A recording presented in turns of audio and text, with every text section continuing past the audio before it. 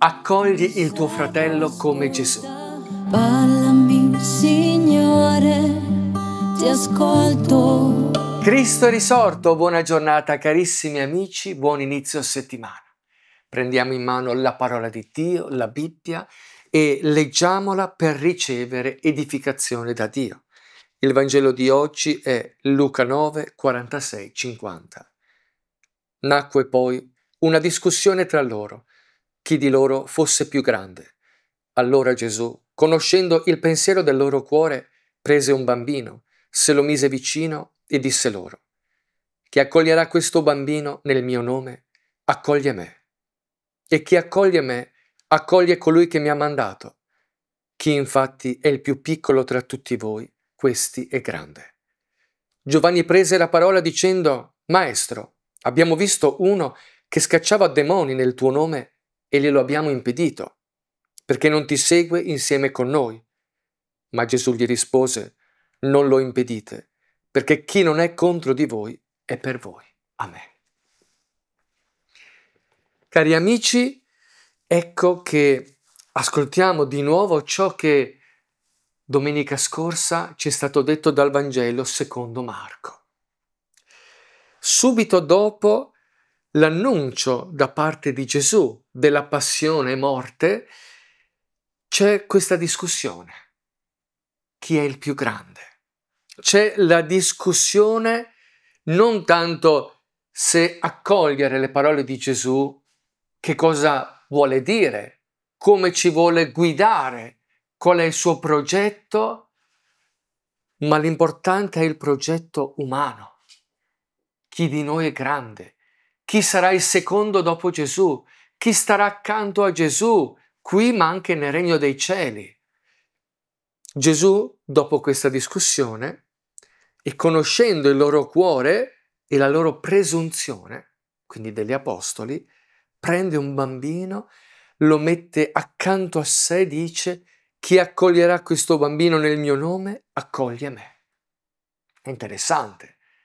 Gesù è come se da una situazione, da una questione, da una discussione ben precisa chi è il più grande, quindi si va sull'essere, una identità, una superiorità di qualcuno passa ad un agire. Quindi non è che dice il più grande è il più piccolo, passa subito a un agire. Chi accoglierà questo bambino nel mio nome accoglie me. Cosa significa nella nostra vita pratica, ma anche nella vita dei discepoli, nella vita della Chiesa? Significa che non è tanto importante chi sei nella Chiesa o a che livello sei, se sei il più grande, chi ha più autorità, chi ha più potere, chiamiamolo, alla maniera umana, ma ciò che importa è il tuo agire, il tuo servire, l'accogliere. Di nuovo, vedete i bambini, la categoria dei bambini, questa categoria che non aveva voce, non aveva una valenza in mezzo ai grandi, quindi erano esclusi fino a che non avessero compiuto i 12 anni per i maschi. Ecco quanto è importante quindi da parte di Gesù questo invito.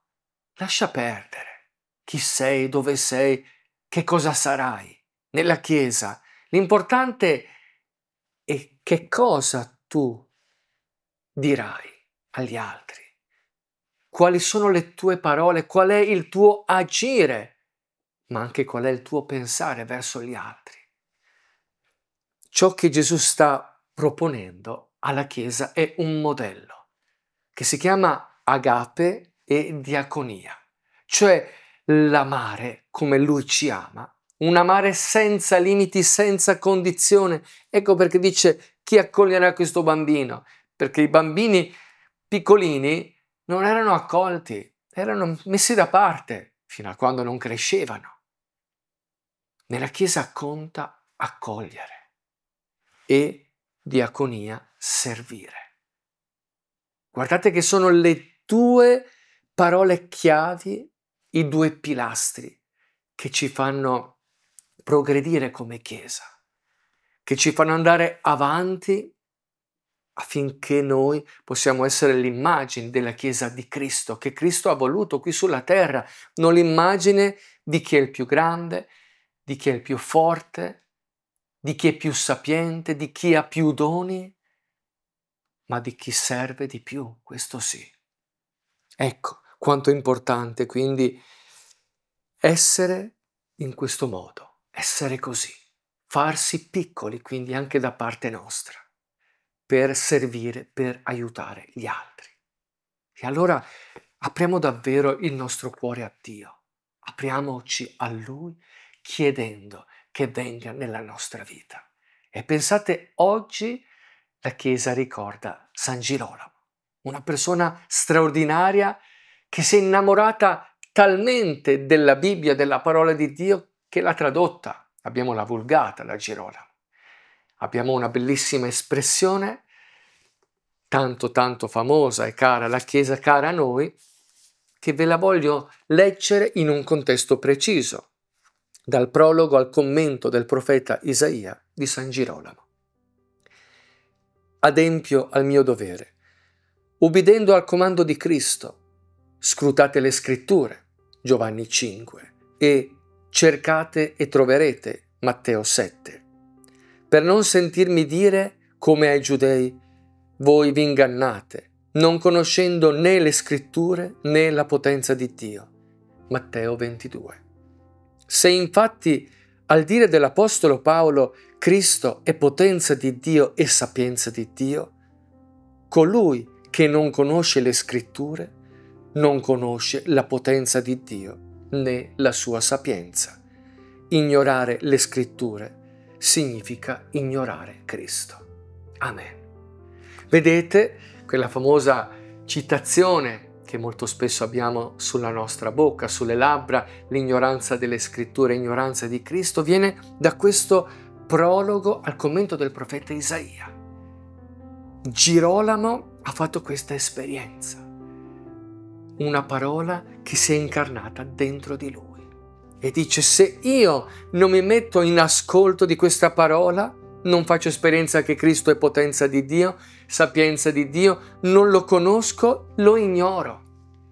E la parola di oggi noi non la dobbiamo ignorare, cioè accogli il tuo fratello, servi il tuo fratello, amalo. Questo è ciò che conta, non ciò che sei, perché Dio farà di te una grande persona nella misura in cui tu ti apri agli altri. Signore Gesù, grazie per questa parola. Grazie Signore perché mi insegni la via giusta. Ti benedico, Signore Gesù, perché anche oggi ho potuto ascoltare e ricevere il dono della tua parola, una parola che è entrata nel mio cuore, a cui io voglio fare spazio perché produca in me grandi frutti frutti di conversione mia personale, frutti di accoglienza, frutti di servizio agli altri, frutti di umiltà. Signore, rendimi come un bambino, che io sappia andare incontro agli altri come tu hai fatto con me e con noi.